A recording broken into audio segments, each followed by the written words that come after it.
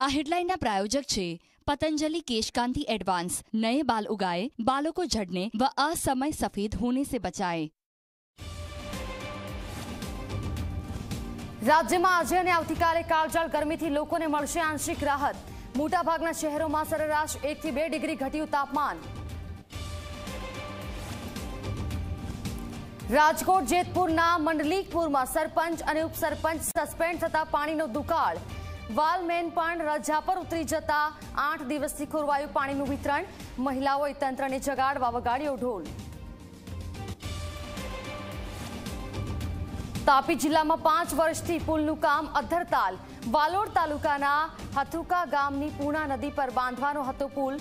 સો જમીન સંપાદિત નહોતી થઈ, તો પછી કોણે પાસ કર્યું હતું આ પુલનું ટેન્ડર? ગીર સોમનાથના ડોક્ટર અતુલ ચગ આપઘાત કેસમાં જૂનાગઢના સાંસદ રાજેશ ચુડાસમા અને તેમના પિતા નારાયણ ચુડાસમા સામે નોંધાયો ગુનો. ડોક્ટરના પુત્રએ હાઈકોર્ટમાં લગાવી હતી ન્યાયની ગુહાર.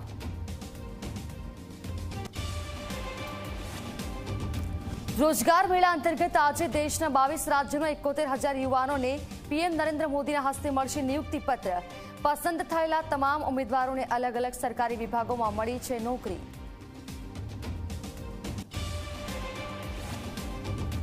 કર્ણાટકની ચૂંટણીમાં કોંગ્રેસની જીત બાદ આજે જાહેર થશે મુખ્યમંત્રીનું નામ.